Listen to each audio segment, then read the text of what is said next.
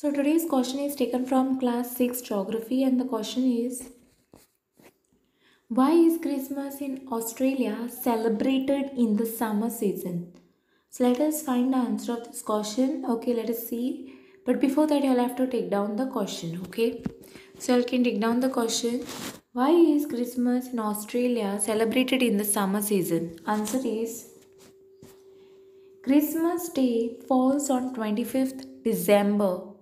In December, the Tropic of Capricorn receives the direct rays of the sun and the South Pole tilts towards it.